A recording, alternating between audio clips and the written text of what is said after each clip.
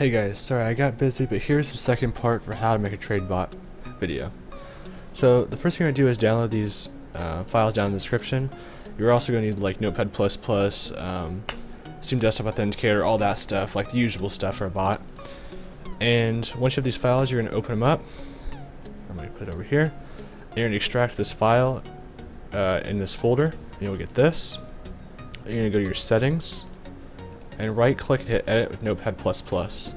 That will open up this little settings file here and you're going to put your bot's username right here, your bot's password, your shared identity secret you will get from your Steam Desktop Authenticator.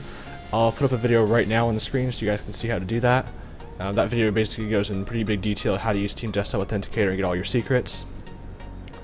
Um, this is going to be your uh, Steam API key. To get that, you will go to this website here, and this will also be down in the description. And you will say, uh, this will be your droplets URL, select whatever your droplets IP is, you'll put in here, but I don't have a droplet at the moment, so I'll just put in this, and you'll say agree, and you'll hit register. And you'll literally just copy this key right here, and put it directly right there. I just made this video, but I lost the recording, so obviously I gotta redo all this stuff. So this is gonna be your group link, so after they make a trade with you, your bot will invite them to your group. So you can put your group uh, invite key right here. So right here, this is what's what the the bot's gonna be playing once running the bot. So for mine, I have card bot and then 23 to one, and that's the ratio of how many sets you're gonna get for cards. Um, you can obviously change that to however many sets you want, 21, 23, whatever. Um, so it'll comment this on their profile after they trade. So if you want it to say like thank you for trading with blah blah blah whatever service, make sure you have that on there. If you honestly, so this this defaults to 180 168, but I added two zeros here because you don't want them to get deleted too soon. You want them to keep like keep keep you in mind when they want to trade with you again. Uh, by default, it'll remove them in one week if they don't ask for more cards. I set mine super high. I mean, it'll fill the friends list super fast. So you might have to clean it out more, but it'll keep you in mind more often.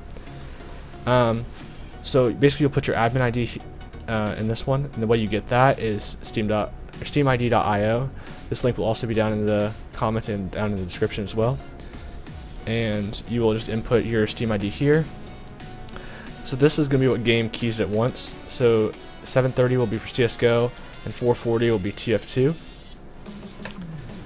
So this will be the amount of messages a person can send to the bot before they get banned from the bot, basically unfriended. Um, I would just leave that at the default. So this is going to be how many sets they will get if they send you a key. So if, if we have it set to 21 up here, we'll just set it to 21 right here. So if they give you 10 sets, this bot will send you back a key, and you can change this whatever you want. Uh, I believe the default was like 6, but I set it to 10. So if they send you 10 cards, the bot will send them a key back. The max sell set, or set sell, is set to 50 by default. I have not changed that. The people that can sell, um, so I demonstrated in the last video, but I lost the recording. Um, I would just put yours here. Any other people that you trust to sell to the spot, you can just say like comma, and you do space, parenthesis, parenthesis, and then you can input the, the URL there. That's obviously an API key, but you just keep inputting their stuff there. Um, and here are all the messages that will be sent to the bot. So when they get added, they'll send them this message. If they type help, they'll get this message. Uh, they do sell help, it'll give them this message.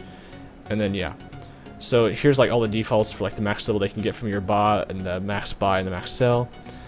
Um, these are the accepted keys that the bot will accept. You can add more later once more cases are added, but the down link down in the description will be the most up-to-date one. It'll honestly get updated the second a new case comes out to fix this issue because these might get outdated if you don't add the keys. Um, so yeah, thank you guys for watching. If you have any comments or anything, any questions really, just leave a comment down below and I can help you guys out. You can also add me on Steam as well. So yeah, please like, comment, subscribe.